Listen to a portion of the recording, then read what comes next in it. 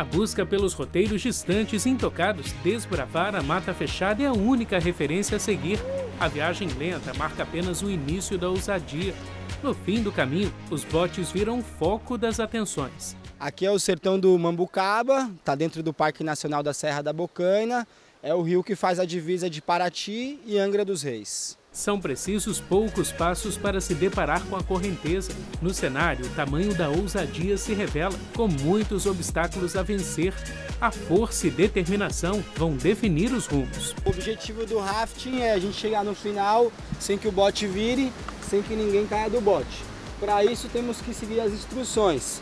Para a gente não cair do bote, a gente vai usar aqui o fim capé dessa forma que a gente vai ficar preso ao bote sem cair.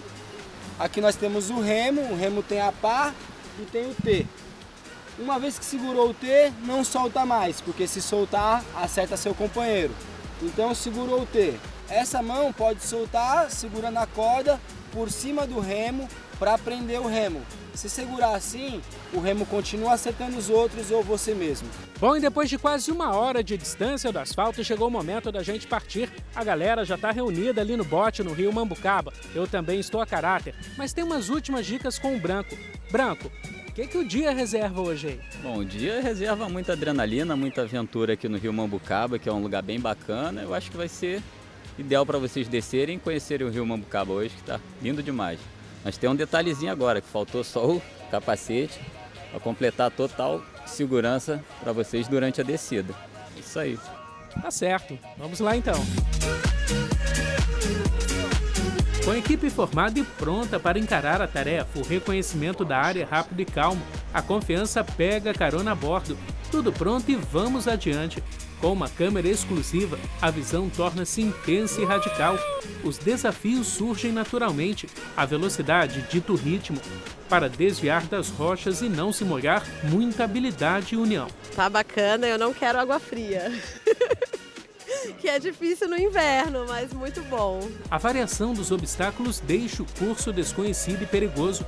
Manter o corpo mais inclinado possível para fora da embarcação é uma técnica que jamais deve ser dispensada.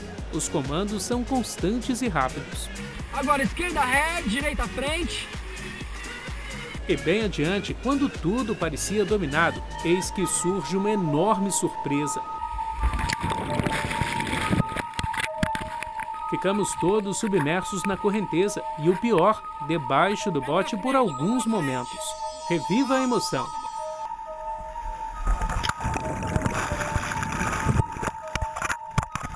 O banho gelado até que refresca os ânimos. Sem sustos, a equipe se recompõe aos poucos, no roteiro ancorado pelo imprevisto. Bom, essa manobra radical ninguém esperava realmente. Né? Felipe, o que, que aconteceu? Bom, essa corredeira aqui chama Mike Tyson uma corredeira classe 3, tem sempre uma dificuldade. O rio está bem seco, a gente acabou encalhando e o bote virou. Mas é isso mesmo, é a força da natureza, não tem como evitar e faz parte. E claro, a galera corajosa não desiste, nunca. Seguindo adiante, a navegação oscila em meio à calmaria e novas corredeiras de tirar o fôlego.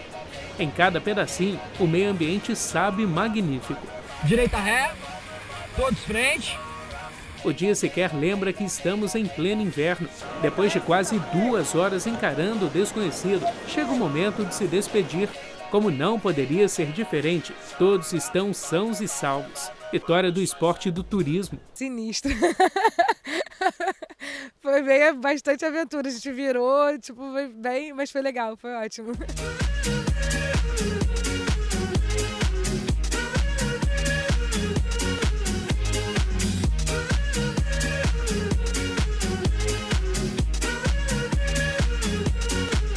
Streisand.